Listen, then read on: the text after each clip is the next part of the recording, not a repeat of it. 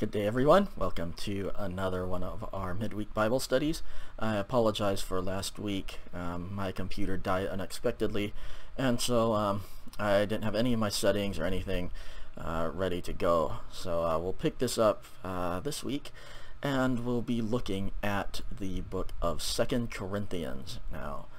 Um, the second of two letters that Paul sent to the church in Corinth. And so uh, let's get to the uh, slides and um, we'll work on this.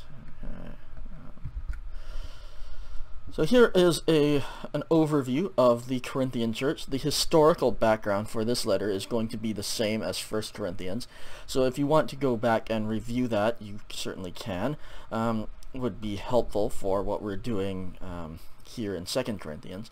We are still dealing with a church in a very diverse, uh, very successful and wealthy city. Uh, and this church has the same troubles and divisions as before, presumably, although hopefully uh, the first letter to the Corinthians addressed, maybe solved some of those issues. Uh, most commentators believe that the second letter to the Corinthians was written about a year after First Corinthians. And we'll go over the sort of timetable that we think um, these letters were written in and what Paul was doing um, with the Corinthians in his correspondence. Um, first of all, let's look at um, Second Corinthians. Uh, this is a sequel of sorts. Um, it has the same background concerns, the same sort of style as First Corinthians. But um, it's very different. Uh, while First Corinthians was arranged pretty neatly by topic, and you had one section kind of flowing into the next. Okay, you had uh, discussion of sexual immorality. It kind of flowed right into Paul's teaching on marriage and what it should be. Um, you had the discussion on spiritual gifts and the body of Christ, and that led right into his discussion of love as the greatest thing to pursue. So uh, First Corinthians kind of really neatly um, arranged, and again, you know, kind of flowing in between topics, you know, one into the next. Second Corinthians, it's a little bit more haphazard.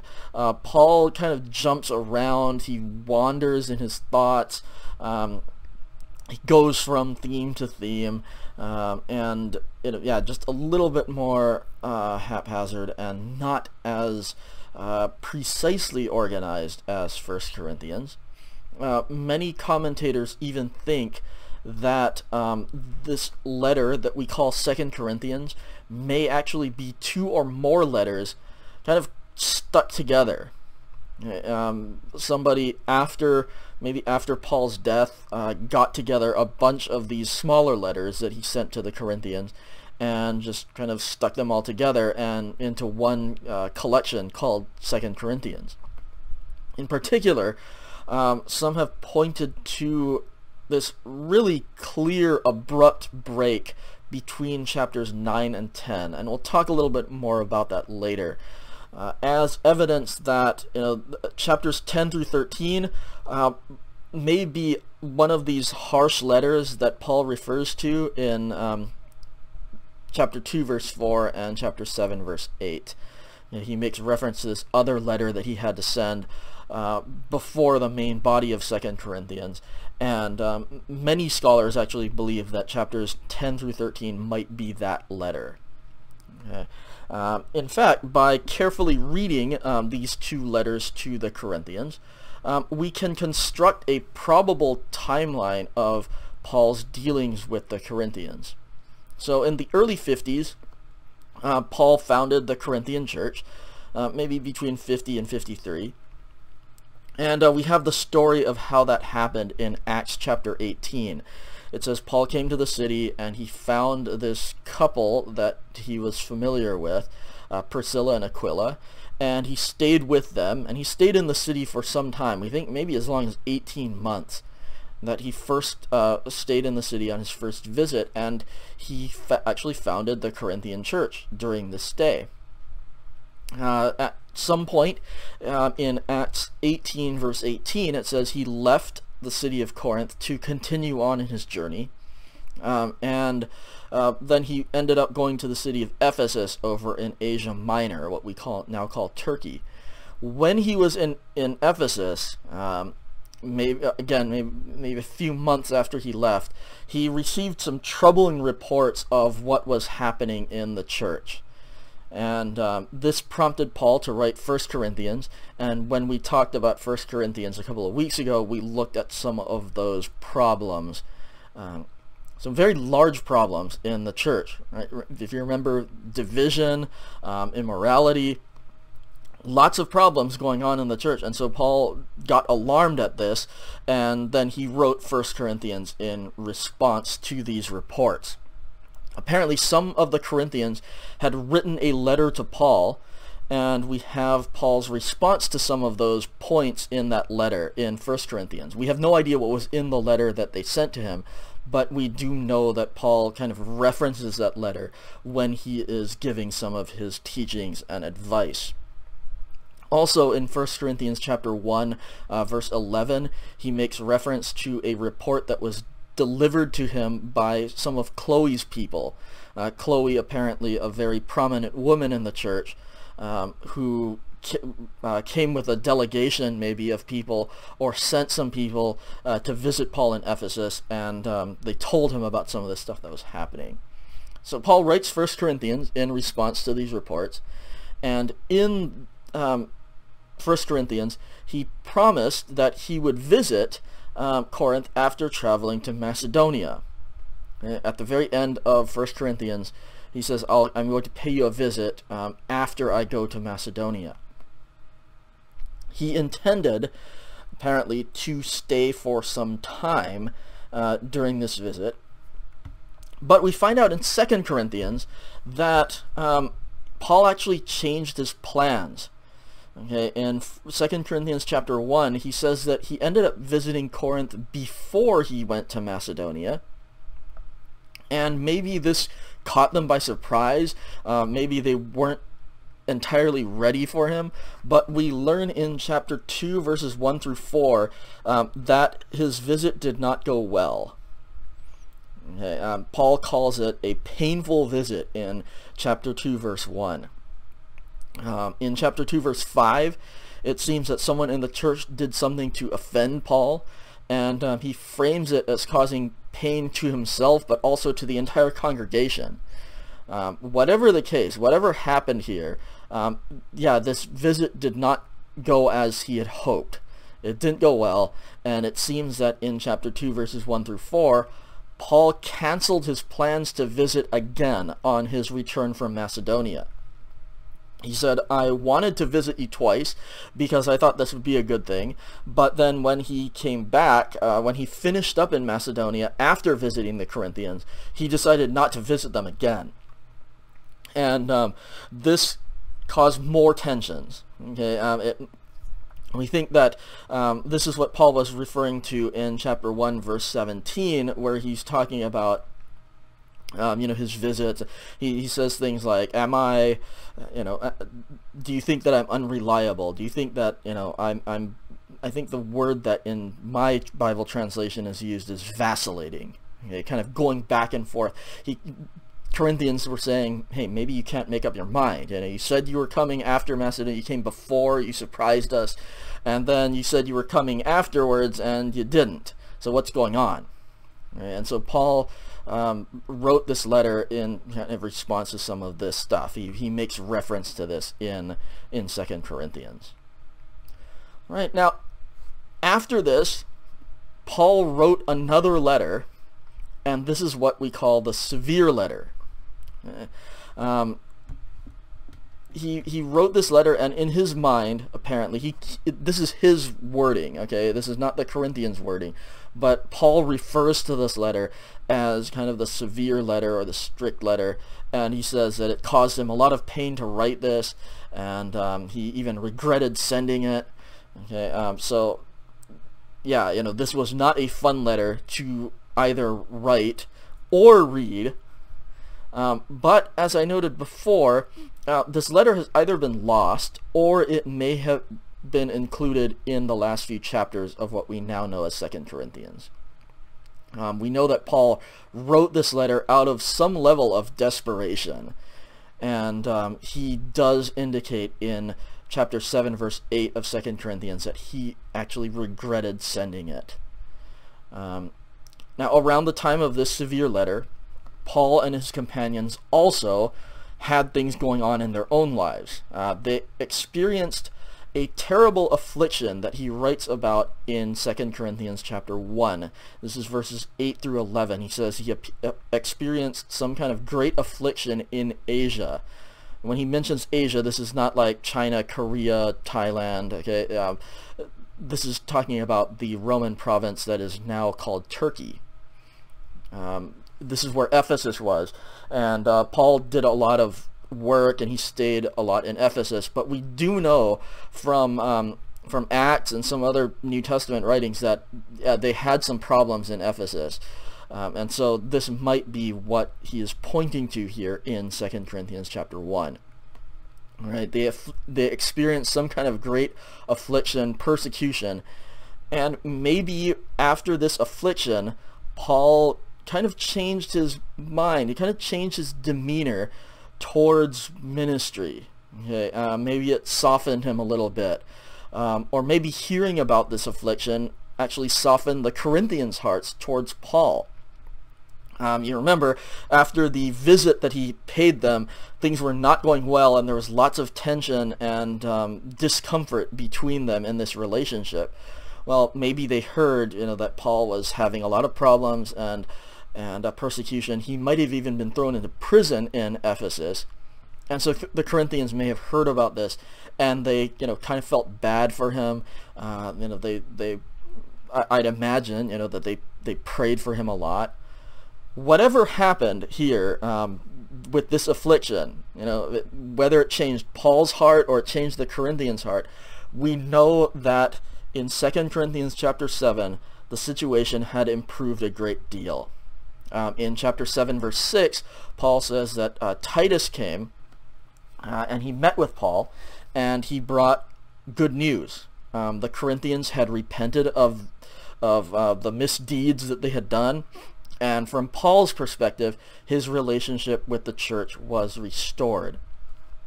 That's in um, chapter 7, verse 16. He says, you know, that, that I've been restored to you and, and I, I have confidence. My confidence in you has been restored. Uh, Paul's joy and his relief at this turn of events led him to write the letter that we now know as Second Corinthians, at least chapters 1 through 9. Now, strangely enough, after this joy and relief of chapter 7, um, where Paul is talking about repentance and reconciliation, we get to chapters 8 and 9 where he's doing uh, um, a lot of this fundraising. He's trying to raise some funds uh, to support the churches in other places. Um, and you know, he seems to be pretty confident about this. He's asking them for money, which is not something you typically do when you're having tension with people. So um, yeah, you know, chapter seven we get reconciliation. Chapters eight and nine, he's trying to uh, raise these funds and uh, generate enthusiasm and support for his ministry. Chapter ten is that big break that I mentioned. Okay, chapter ten switches to the situation that had arisen some time before the composition of Second Corinthians. What we have here, this might be, again, this severe letter that he had to write. Uh, the tone of these chapters is considerably more aggressive and defensive than um, the rest of the letter. And so this is why a lot of scholars think that this might be that severe letter and it might have just gotten bundled up when um, this letter became part of the Bible, at least for Christians. Okay, uh, but what we, what we have here in um, the last part of Second Corinthians is this group of people whom Paul refers to, and, and when he uses this language, it's probably sarcastic. Um, it, it's this conflict with this group of people known as the super apostles. Again, Paul's language, Paul's kind of uh, label for this group of people. Uh, this group of super apostles had arrived in Corinth and they were active among the church. Um, we have no idea about how many of these super apostles there were. Um, probably a small group of um, of a like this apostolic team, just like Paul had, right? Paul was traveling around with um, Silas and Timothy and Titus. Um, maybe, yeah, you know, the same kind of situation. Um, a handful of people that are traveling around and um, finding space in these churches where they're starting to teach and preach. Uh, this was not good news for Paul. Okay, um, he he did not appreciate these people. Uh, Paul mentions in chapter 11 of Second Corinthians, uh, this is 11:22, that um, these super apostles were Hebrews, so like Paul, um, Jewish Christians, and in verse 23, um, he does say that they are ministers of Christ. At least they portray themselves to be ministers of Christ. Uh, Second Corinthians does reveal that there were these serious conflicts between these apostles and Paul. Um, Paul, again, because of the rest of uh, what he says in chapters 10 through 13, we think that when he calls them the super apostles, this is um, being sarcastic. It's kind of, you know, um, oh yeah, you know, they're the super apostles. That's what they think about themselves. Okay, and um, Paul goes so far as to call these people ministers of Satan disguised as ministers of righteousness. All right, not a lot of uh, mutual love and respect between Paul and this group of people. So this strange switch in tone and content is what has led some commentators to believe that um, chapters 10 through 13 are this separate severe letter. Um, and you know it's a fairly convincing argument to me. Uh, there is this clear break between chapters 9 and 10, and it doesn't seem like chapters 10 through 13 have a whole lot to do with what Paul is talking about in uh, chapters 1 through 9 it's very strange, you know, that if he was having this major conflict with these people, that he would wait until chapter 10 to kind of introduce this. Um, on the other hand, um, all of the textual evidence that we have suggests that Second Corinthians is a single letter. Okay, the problem with this theory of two letters being uh, kind of squished together is that there's there's simply no evidence that we have that Second Corinthians ever existed as separate letters. Uh, there's nothing in the textual history to say you know that chapters 1 through 9 existed as separate from chapters 10 through 13 and later they kind of put them together. Um, it's entirely from these kinds of close readings that suggest that this may have been more than one letter, but we can't really be be sure. If you just take um, the manuscripts, the way that the text has been communicated to us, um, Second Corinthians is one um, full contained letter. Okay, uh, but yeah, you know, there's there's a lot of evidence both ways, and so you know, it, I, I am not sure that it's that important, um, but just something kind of interesting to note, and that yeah, we may have two or even more letters here, and so the relationship and the correspondence might have been a lot more complicated than you know Paul gets a letter and he sends First Corinthians, then he gets some other information and then he sends Second Corinthians. So what what are the major things to look for as as sort of you read through Second Corinthians? Now keep in mind um, the history between Paul and this church. Um, he was the founder. Uh, he founded the church, and there's obviously this very strong connection between um, Paul and the Corinthians. Um, and one of the important themes in Second Corinthians is Paul's treatment of his own ministry. If you remember now, um, this deep connection has kind of been severed, or it hasn't been severed, but it's been really tested. It's been strained. And so a lot of Second Corinthians is Paul kind of defending his ministry, but really uh, talking about what his uh, you know what his goals, what his motivations are um, in this relationship with the Corinthians. Um, in large part due to the nature of this church, you know how how uh, divided they are, all the all the problems that they're having. Um, Paul has been putting a lot of effort into this, um, but then he also you know, kind of he has to acknowledge that yeah, you know, uh, things have been kind of stormy, things have been kind of strained between us. Now, um, once you know about this background, it's impossible not to see it in this letter. All right, Second Corinthians may be Paul's most personal, intimate, and certainly most vulnerable letter. Um, he, he's going into great detail about his ministry. Um, he is emphasizing how much he has tried to model integrity and virtue. In uh, chapter 7, verse 2, he he really hits this. You know, um, he's he's wanted to be sincere. He's wanted to show them um, kind of to be a, um, what an example to them. In chapter 1 verse 12, um, he says, Indeed, this is our boast, uh, the testimony of our conscience. Uh, we have behaved in the world with frankness and godly sincerity, not by earthly wisdom, but by the grace of God, and all the more toward you. All right, so um, establishing that, uh, or maybe even reestablishing that, you know, that, that his motives are pure. He wanted to be sincere. Um, he was always looking out for the Corinthians' welfare. Um, he stresses his deep love for the Corinthians even when he is rebuking them. Um, this is a love that is shared between Paul and the church, and he wants to remind that of them even when he is having to tell them things that are maybe coming across as harsh or difficult.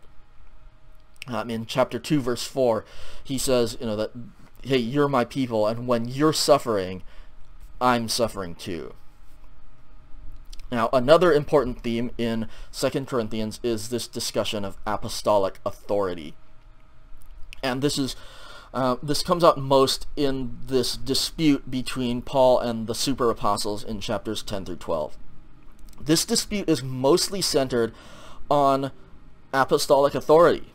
Uh, we don't know a lot about what the super apostles were teaching, but apparently the conflict wasn't really on doctrine and belief. It was about who has the authority to teach in the church. Uh, during this time in the Roman Empire, if you remember, uh, skilled orators were very highly um, regarded. These were the superstars of the culture. Uh, people who could think and speak impressively were lauded as cultural heroes.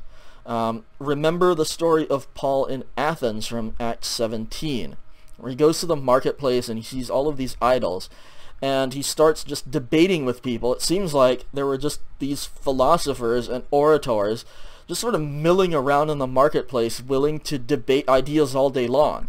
Um, Paul just had to go and you know you just throw a rock anywhere in the marketplace and you'll you'll hit somebody who's going to be willing to debate religion with you. Um, it's kind of like you know first century social media, first century Twitter or Facebook. Um, you know, just find somebody and start an argument with them. Um, this was how people got famous and how how they were highly regarded. These were the celebrities of the time.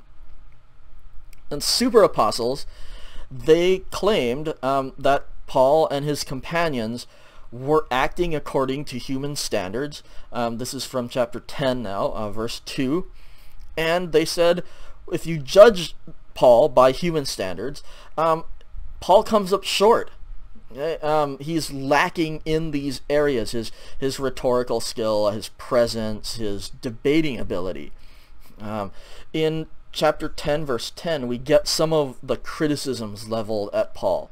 And again, this is Paul himself um, reporting this, but and he's kind of putting words in the mouths of his opponents. In uh, 10 verse 10, he says, His letters are we- weighty and strong, but his bodily presence is weak and his speech contemptible. So again, this is Paul saying what his opponents say about him. So kind of a weird way to read this, but um, yeah, you know, we we get some of the criticism that these super apostles were leveling at Paul. Um, yeah, he he's just not a great speaker. He doesn't have a lot of charisma. Um, you know, yeah, you know, his bodily presence is weak. I don't know if that means that he was short or you know that he maybe had a disability. but yeah, anyway, uh, they they criticized kind of his his presence and the way that he spoke, and, they kind of made fun of it because he said they said you know oh when he's writing his letters he's really brave and, and he's very strong when he's writing, but then when he comes in person, then suddenly you know he he's this awkward you know kind of weird guy, and you know his his speech is contemptible.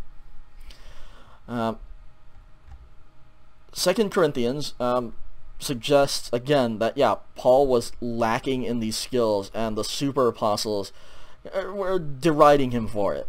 And maybe some in the Corinthian church were being persuaded by these opponents. Um, again, you know, the, your celebrities are the people who can speak really well and have a really good presence. And so when the super apostles came in, maybe they were really great speakers, and they were saying, hey, you need to listen to us, you need to follow us, because we can, you know, we have all of this uh, skill and we have the, all these great arguments, and Paul, uh, you don't have to listen to him. Now, when this conflict happens, Paul's response is something very interesting. Um, instead of trying to kind of flex his debating skills, or you know make points and argue, hey, wait a second, I'm a I'm actually a really good speaker. Don't listen to these people. Okay? Paul doubles down. He actually embraces this criticism. Um, in chapter 11, verse 6, he says, I may be untrained in speech, but not in knowledge. Certainly in every way and, and in all things, we have made this evident to you. so he's saying here, you know, um, I may be untrained in speech. My, uh, sure, okay, maybe I'm not a great speaker, but I have this knowledge, I have this authority to speak about these things to you. Okay, I, I can I can correct you, I can train you, um, despite whatever awkwardness existed in his in his speech or or however his maybe his preaching was lacking. Um, later on in that same chapter, chapter 11, he says, If I must boast, I will boast of the things that show my weakness. Wow, what what is this guy talking about? Okay, I must boast, I will boast of the things that show my weakness. Um, but then, of course, this culminates in the famous text in um, 2 Corinthians chapter 12, verses 9 and 10. Uh, Paul says that he had this vision and he was actually taken up to heaven and he got these words from Jesus himself. He said, uh, Jesus spoke to me and he said, my grace is sufficient for you for power is made perfect in weakness. Goes on in verse 10, he says, so I will boast all the more gladly of my weaknesses so that the power of Christ may dwell in me. All right. Um, kind of saying that I'm not going to, uh, you know, rely on my own power, my own wit and skill, but I want to show the power of Christ, and if that is communicated best in weakness, then I'm all the more happy for it. All right, a very interesting response to some of these criticisms. But again, um, we, we know that this turned out pretty well. Um, Second Corinthians um, in the middle there, chapter 7, 8, 9, uh, does refer to uh, this reconciliation. Uh, and that the Corinthians, you know, they they kind of yeah, where they started listening to Paul again, and uh, this this relationship was restored.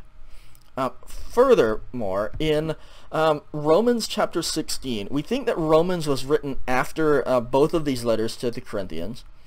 And um, in Romans 16, uh, we have this long list of people's names. All right. Um, I, I, don't remember exactly how many, something like 33 names that are listed in Romans 16. And some of those people were church members in Corinth. Paul is actually passing greetings on to the Roman church from uh, some of these prominent church members in Corinth. And so apparently he is he is on good terms with these people again. If Romans was indeed written after uh, First and Second Corinthians, uh, Rome, the end of Romans indicates that yeah, you know, this relationship actually did get restored, and uh, he was in communication with these people, and um, it was a good enough relationship that they said, hey, you know what, we, our friends in Rome, let's you know, go ahead and pass our greetings on to them. Right. Um, apparently, things did work out for the best. So what is the takeaway here to conclude? Okay. A lot of times, you know, we idolize, you know, the early church, right? We think that they were so unified and they were so on fire and the Holy Spirit was just working through them.